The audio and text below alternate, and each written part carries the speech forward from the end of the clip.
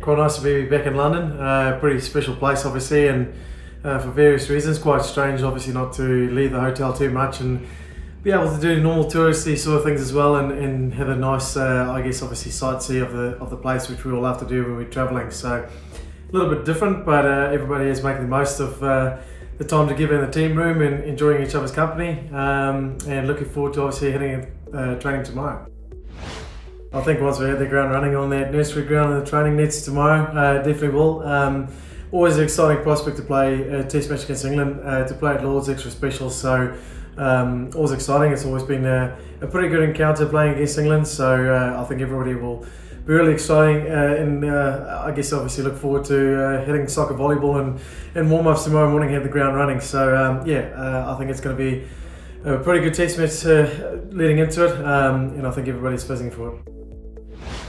Yeah, played a few of them in county cricket. Um, a few of them were also in the tour last time to New Zealand. So um, exciting for them. They've got a you know quite a I guess a big big range of depth at, the moment um, in their group as well. So um, definitely uh, something new um, and some exciting players coming through for them too. So not wanting to worry too about it too much. Uh, keep focused on what we want to do, what we want to achieve, and, and doing our things uh, as good as we can and contribute on the day played test match in 2013, uh, which was quite a nice test match. To be fair, I thought we played really well and had ourselves in with a hunt on the last day, um, chasing I think about 220 odd, and uh, got done by a brilliant spell from Stuart Broad. Um, so yeah, we fell short, and it was just one of those days where everything worked for them. But uh, I thought we played some really good cricket. It was quite exciting. Obviously, uh, time playing your first test at Lords and played a couple of county games there too. So um, and also was there for 2015 to didn't play um, unfortunately, but carried drinks out, ran, ran around the field, um, and just nice to be a part of it. So uh, quite a special ground to obviously come back to, and,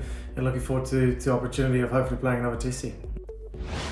I think the nice thing is coming back here, um, getting to Lord's, I think it's the familiarities now. You sort of get there, you know what to expect, and um, I think the first time you rock up there, um, you're like a little kid, I guess. Um, everything can sort of I guess, hit you a little bit and, and be a bit of a, a distraction, I guess, in some sort of way. Um, it's quite nice to know what to expect, uh, know your way around. Um, I guess being a little bit more familiar, uh, you settle in quite nicely, and, and also with the slope and the characteristics of the ground. Um, it's a little bit easier to adapt to knowing what to expect now, where the first time around was all sort of quite new and uh, quite a bit of a big change, to be fair. Um, so, yeah, to be able to get there and and, and know what we to well, know what's uh, what's in front of you is, uh, is quite pleasing.